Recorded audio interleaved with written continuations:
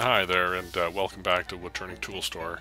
So, um, that intro was just a little bit of fun. I uh, actually recorded this video and my microphone wasn't working, so we'll be uh, turning this cast resin piece. Uh, it was a uh, auction item at the Rocky Mountain Wood Turning Symposium back in September uh, that I bought. Um, it's from uh, Bob Franklin, and you can find him on Facebook at uh, Franklin Wood Turning Craft and Hybrid Blanks. So it's my first resin cast turning, so hopefully it goes well. Um, you'll see in the video how it goes. So uh, thanks for joining me, and uh, I appreciate you uh, coming along for the ride.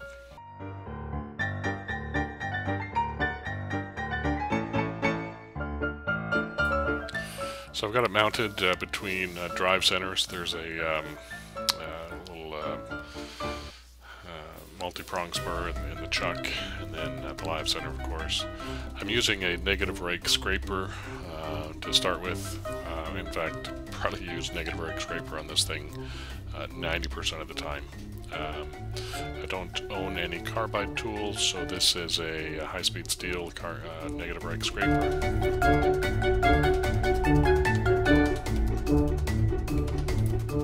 So uh, coming to cut the tenon, I've actually got a, uh, a, slightly different tool here. It's still a negative rake scraper, but it has a uh, uh, edge, um, front edge and a side edge ground on it. So uh, easy enough to make a tenon with this.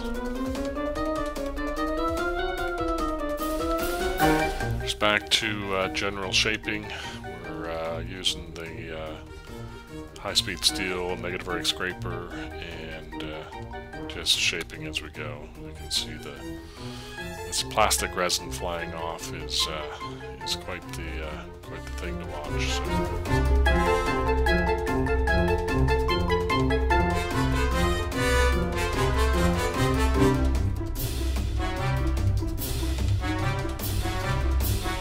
So this kind of cutting uh, certainly dulls tools, so uh, using a uh, hone to uh, re-hone or, or, sharpen the uh, negative rake scraper, first on the top edge and now on the bottom edge, trying to create a little bit of a burr. You can see in the slow-mo that it works fairly well.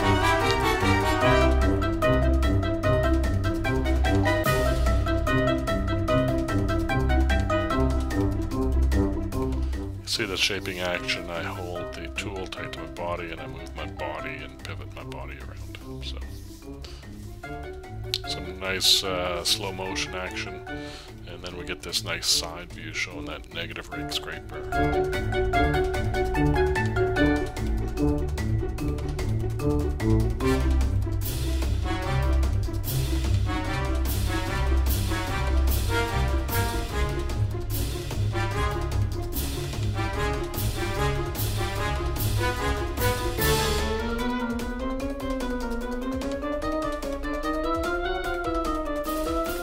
So now uh, we reverse chuck it, or reverse it and, and, mount it in the chuck, I should say.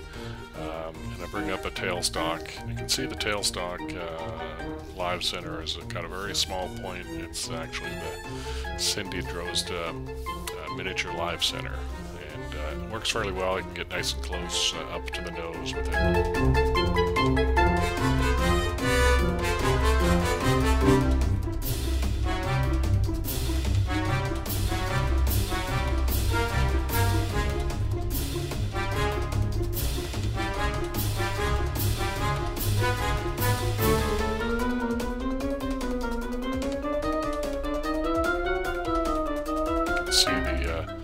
Negative rake scraper getting in close to the nose uh, and able to kind of get that shape that I need uh, without getting in the way of the uh, live center.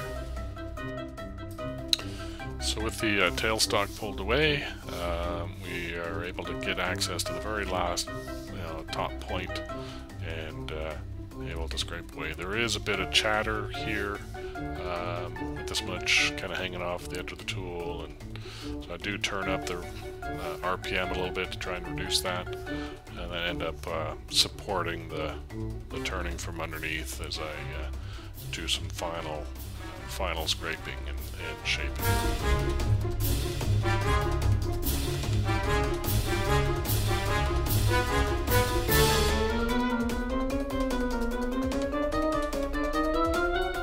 So here I'm actually using a skew to get into the corner stuff, and I get into uh, to shaping that bottom edge, uh, bottom transition a bit better.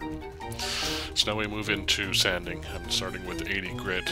I, uh, as you uh, see, uh, the scratch pattern, I want all those dark and white lines to kind of blend together to one color. That's what I'm looking for. That way it gets rid of all the high spots. So using a detail gouge and getting into the transition at the bottom, um, forming a bead.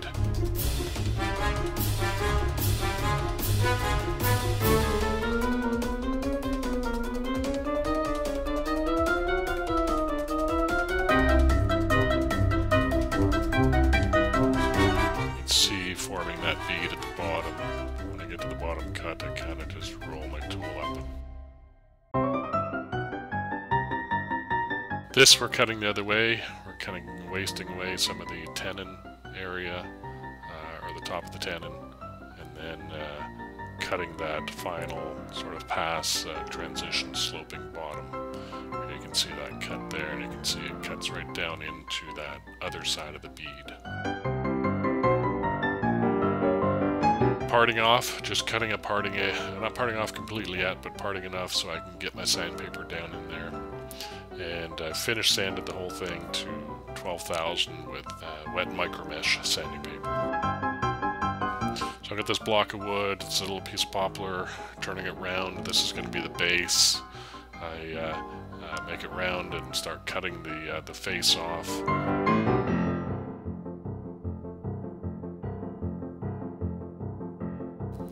Get some calipers out here and I measure that base of the uh, piece I just parted off and uh, start making sort of a platform, if you will, for the uh, for the turning.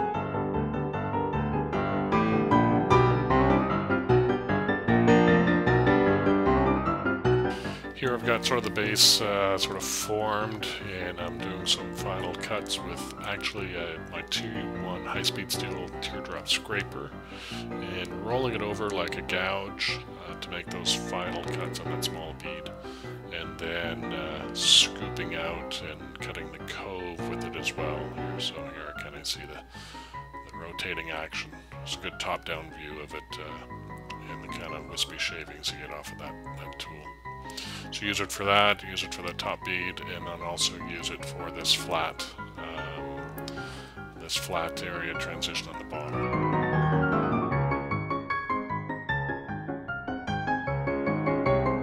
So here I'm uh, reverse mounting. I'm actually using the original 5 8 um, Forstner bit as a drive center, and then got a wooden cone to stick in the back and start cutting away that final small tenon just see it just uh, snaps off. Ah, no big deal. Um, we're going to be sanding the bottom anyway. So here's a spindle adapter. It changes my big threads to small threads 1 by 8 I put on a 4 inch foam gripped handle and a 1 quarter inch adapter. Uh, this is the modular handle tool system. I take my sanding mandrel and lock it into place tool handle, which is now mounted, mounted to my lathe spindle, and I've got a perfect sanding platform for this uh, for this thing. So I've got 80 grit. I go up to I think 320 on the bottom here. Uh, not really necessary. And then that's it. There's the final piece.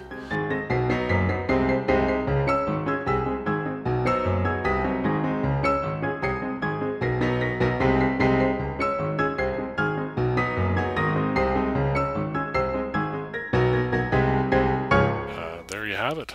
Thanks for joining and thanks for watching. Hope you enjoyed.